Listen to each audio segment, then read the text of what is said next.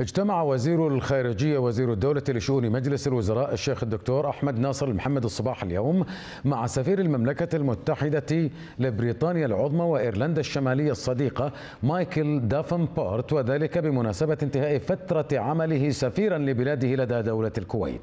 وأشاد الشيخ أحمد ناصر المحمد خلال اللقاء بجهود السفير وإسهاماته التي قدمها في إطار تعزيز أواصر العلاقات الثنائية الوثيقة التي تربط البلدين والشعبين الصديقين.